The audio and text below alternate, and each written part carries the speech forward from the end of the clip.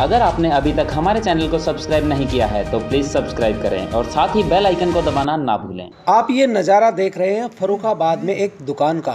जहाँ दबंगों ने अपनी दबंगाई दिखाकर खुलकर उत्पात मचाया। मामला मैक्रोनी का था, जिसे दुकानदार अपने रेट पर दे रहा था, लेकिन दबंग अपनी दबंगाई दिखाते हुए उसे कम रेट में लेना चाहते थे। दुकानदार ने मना किया तो दबंगों ने गाली गलौज शुरू कर दिया और वहाँ से चले गए। उसके बाद वह अपने साथियों के साथ वापस आए और दुकानदार से मारपीट की और उसकी दुकान को तहस नहस कर दिया। वहीं प्रत्यक्षदर्शियों ने बताया कि मामला मैक्रोनी का था, जिसे दबंग अपनी रेट पर लेना चाहते थे। दुकानदार के मना करने पर उन्होंने उत्पात मचाया। वहीं प्रत्यक्षदर्शियों ने बताया कि दबंग धार धार हथियार लिए हुए थे, जिससे दुकानदार को घायल किया गया। जिसकी सूचना पुलिस को दी गई। पुलिस ने मौके से चार दबंगों को हिरासत में भी ले लिया लेकिन मामला यहाँ तक नहीं रह जाता। जब दबंग दबंगाई दिखाते हुए दिन दहाड़े दुकानदार के साथ मारपीट कर रहे थे तो उस वक्त पुलिस कहाँ थी? यह एक सोच का विषय है। वहीं एक प्रत्यक्षदर्शी ने बताया कि दबंग मैक्रोनी लेना चाहते थे और दुकानदार अपने रेट पर उसे देना चाहता था। शांति बहुत पहली बात क्या घटना घटी है मंडी में? यहाँ पे इस बच्चे ने जो है माइक्रोनी देने के लिए मना किया मतलब अपने रेट से देने के लिए मना किया। वो अपने रेट से मांग रहे थे। ये अपने रेट से देने के लिए तैयार था। उसके बाद वो गाली गलौज दे के चले गए वापस। दो लोग थे।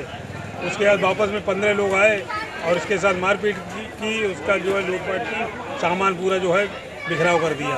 काफ़ी नुकसान हुआ। कितनी लूट करने लगे अब ये काउंटिंग तो नहीं है लेकिन कुछ गोलक वोलक निकाल ली।